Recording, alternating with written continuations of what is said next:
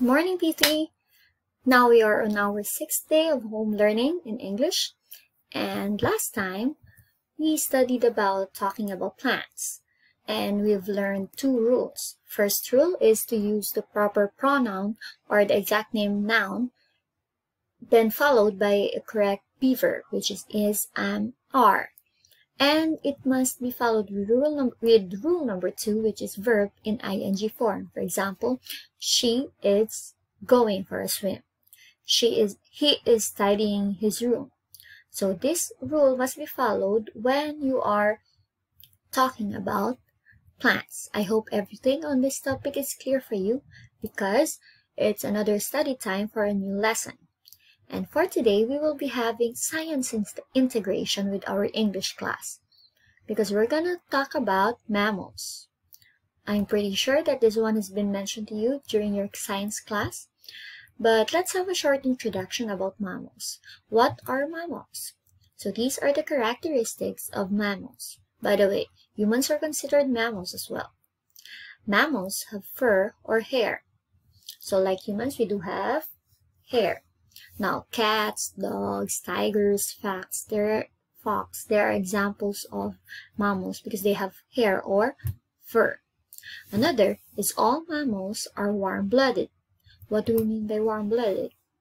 Their body temperature stays the same when it's cold or hot outside. It means it doesn't take whatever the temperature is outside is it sticks to your own body temperature. For example, your body temperature is 37. So when the weather is hot, your temperature is still 37. When the weather becomes cold or snowy, let's say winter, your body temperature still remains 37. It doesn't increase nor decrease.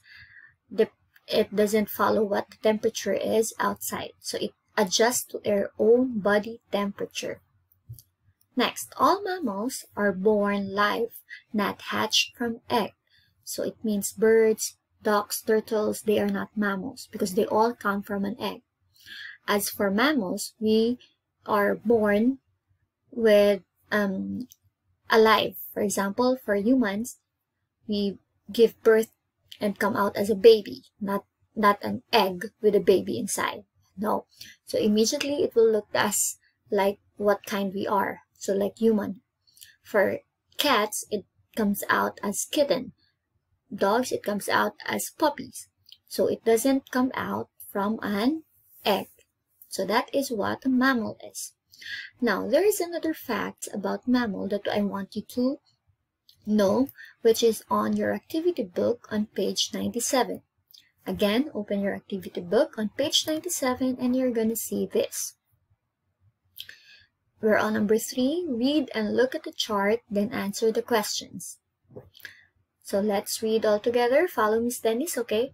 You have to read this part. All mammals have hearts that pump blood around their bodies. Like what we've mentioned, without the heart pumping the blood, your body will not function well. But some mammals' hearts beat slowly, and others beat quickly. In general, larger mammals have hearts that beat more slowly. So using this chart right here, you will know how many heartbeats in a minute do each kind of mammal has. Let's start with the smaller one. Bat has 70, 750 heartbeats. Imagine how fast it is. In one minute, it makes 750 heartbeats. Mouse has 650. Rabbits have 200. A man, or like us, we have 72 heartbeats in a minute. Elephants, only 25, while the whale has the slowest, which is 6. So, let's compare these um, mammals using their heartbeats in a minute and complete the sentences below. Number one. Which heart beats more quickly, a mouse heart or an elephant's heart? Okay, the answer is already given. A mouse's heart beats more quickly. Since we're talking about the quickness of the heartbeat, we're going to use here quickly. Number two, a heart beats more quickly. I mean, which heart beats more quickly, a rabbit's heart or a bat's heart? It's the bat's heart. it, the bat's heart beats more quickly since the bat has 750 while the rabbit has only 200. Number three, which heart beats more slowly? This time slowly. Whale's heart or a man's heart? So the answer is, of course, the whale's heart beats more slowly. It only has 6, while humans have 72.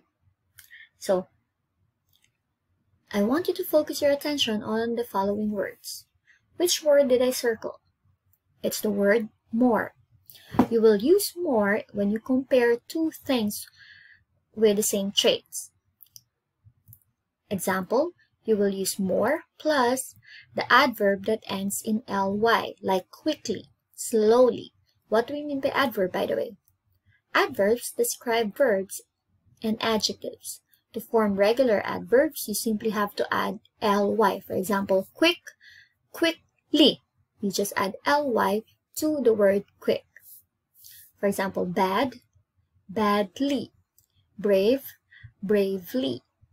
Careful, carefully. You simply add ly. Now, there's another rule. If the word ends with y, you have to change it into i and add i and add ly.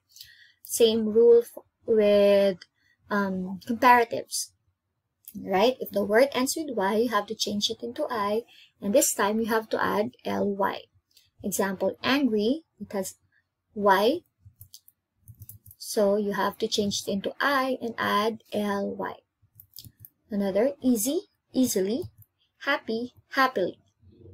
So that's how you're going to change the adverb, the adjective into an adverb and then simply add more before the adverb. So more plus adverb. For example, quick will become more quickly, slow will become more slowly, and loud will become more loudly. It's very easy, right? So you're going to use it when you're comparing two things with the same trait. For example, I'm two animals with both of them are quick, but you want to know who's quicker. So you're going to use more quickly. So for your um, homework, I want you to do your activity book page 97 over to you and don't forget to send your homework to Google Classroom to be graded and checked.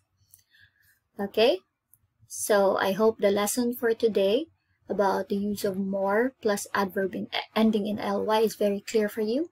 Feel free to send me a message in Google Classroom if, every, if something is confusing and I'll gladly answer them. So that will be all, all for today, friends. Thank you and see you next time. Bye.